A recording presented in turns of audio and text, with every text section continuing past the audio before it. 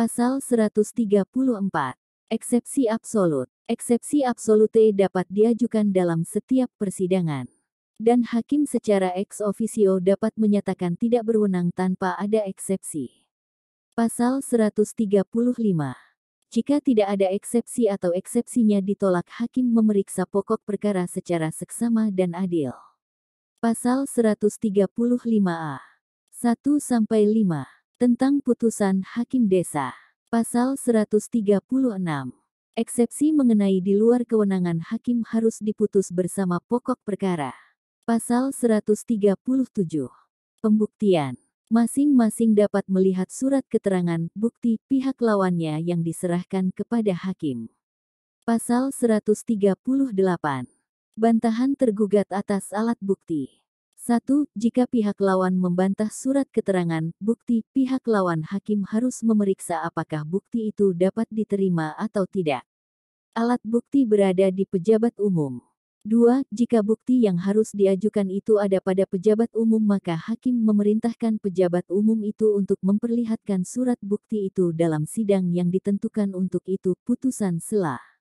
3. Jika pejabat umum tersebut keberatan untuk memperlihatkan karena sifatnya rahasia maka ketua akan menyuruh untuk mengirimkan surat itu kepada pengadilan. Atau jika keengganan pejabat itu karena jaraknya jauh, pengadilan akan meminta bantuan pengadilan lain untuk memeriksa alat bukti itu di tempat penyimpanannya, dan pengadilan yang diminta bantuan membuat berita acara serta mengirimkannya kepada pengadilan yang minta bantuan. 4. Jika pejabat umum menolak membawa surat bukti tanpa ada alasan hukum, atas permintaan para pihak pengadilan dapat memerintahkan secara paksa dipaksa untuk menyerahkan alat bukti tersebut. 5. Jika surat bukti itu tidak merupakan bagian dari buku daftar, pejabat umum itu harus membuat salinan selama surat bukti itu belum dikembalikan oleh pengadilan dengan memberi catatan dalam salinan tersebut kenapa dibuat salinan. 6. Biaya pembuatan salinan harus dibayar oleh orang yang mengajukan bukti yang dibantah tersebut ditaksir oleh pengadilan yang memeriksa. 7. Jika dalam pemeriksaan ada dugaan pemalsuan surat itu maka pengadilan mengirimkan surat itu untuk diperiksa oleh pengadilan pidana. 8. Perkara perdata yang diperiksa ditangguhkan sampai ada putusan hakim pidana. Pasal 139 tentang pemanggilan saksi yang menolak hadir sidang. 1. Jika penggugat melakukan pembuktian dalil gugatannya atau tergugat melakukan pembuktian penolakan dengan saksi dan saksi tidak mau menghadap tanpa alasan hukum, pengadilan menunda sidang dan memerintahkan juru sita untuk memanggil saksi tersebut. 2. Perintah pemanggilan dilakukan kepada saksi yang secara ex officio harus diperiksa oleh pengadilan. Pasal 140 1. Saksi yang dipanggil tidak datang maka harus diperintahkan untuk membayar segala biaya panggilan yang dikeluarkan. 2. Saksi dipanggil sekali lagi dengan biaya saksi sendiri.